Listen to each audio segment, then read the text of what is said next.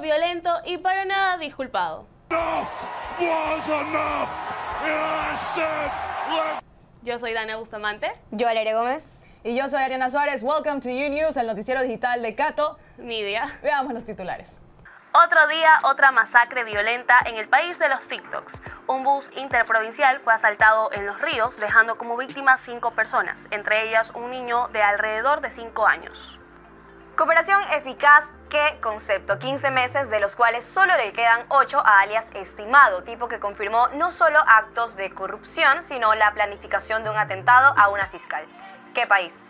El Y2K llegó con 23 años de retraso. A nivel mundial se reportaron diversas fallas informáticas en dispositivos Windows. Aeropuertos y grandes edificios dejaron de funcionar. Diablos, Skynet. Mucha intervención y mucha promesa respecto a la seguridad hubo esta semana. El presidente Daniel Novoa estuvo en Durán, como vimos, con la mucha parafernalia agresiva e intensa alrededor de la seguridad y otros menesteres. Bueno, 24 horas después de ese derroche de propaganda, desvivieron a una persona estilo sicariato en Durán. Y anoche, nada más, masacraron a cinco personas en un bus interprovincial en la provincia de Los Ríos. Un menor de 5 años de edad y cuatro personas más fueron asesinadas al estilo sicariato la noche de este jueves.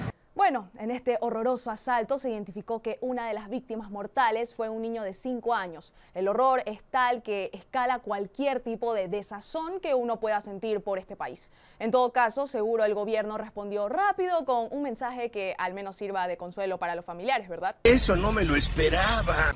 Pues Nada, no, nada, de nada. En el gobierno de los TikToks es más prioritario escribir un tweet congraciándose con un candidato extranjero que un mensaje de condolencia para tu propia gente. Las prioridades en orden.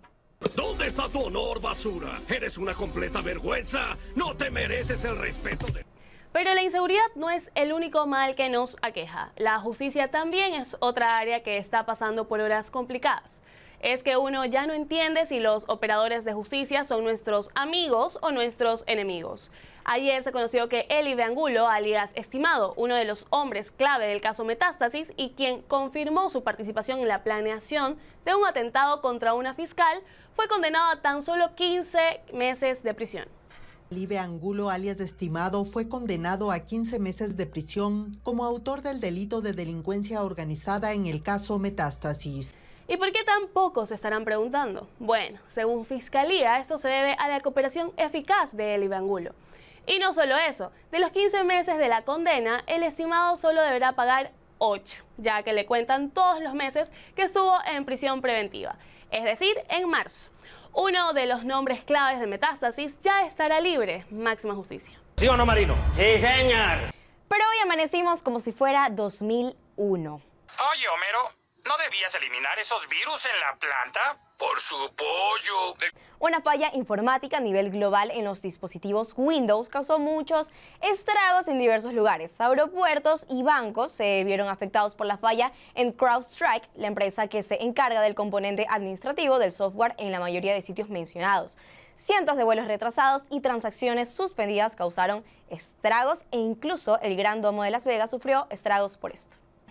Y bueno, si tú no lo sentiste es porque Latinoamérica no lo sintió. ¿Y por qué? Pues porque acá el 90% de usuarios usa el Windows pirateado. Así que ya saben, viva el software libre, usen Linux.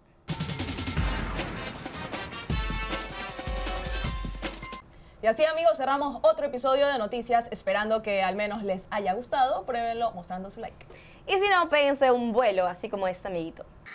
¡Ay, tiene lo más lindo de la cancha que tiene pelito, que tiene ojito, que tiene uñita, patita, patita. Tiene lo... Un gran abrazo y nos vemos el lunes.